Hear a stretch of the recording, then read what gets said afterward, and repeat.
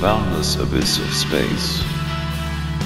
You showed possibilities when you first flew your rockets.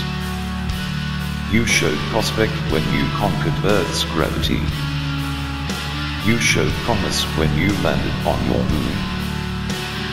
You showed potential when you sent the Voyagers into the expanse. You showed capability when you colonized Mars. You showed aptitude when you mined the asteroids. You showed talent when you left the solar system.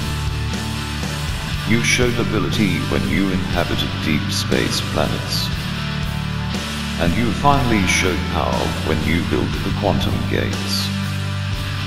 Temper your hubris, human, for the cosmos is truly vast.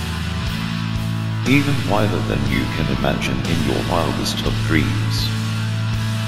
Creation is your deserved reward and earned right. Just take it to heart to tread lightly.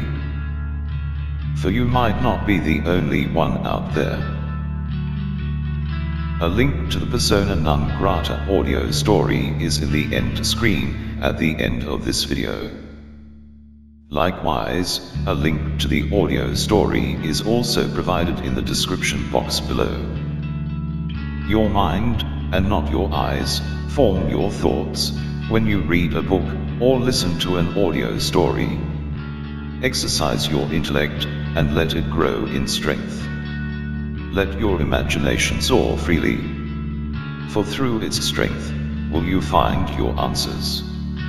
And through its power will you find your way. So thank you then. And please do watch, listen, and enjoy the story.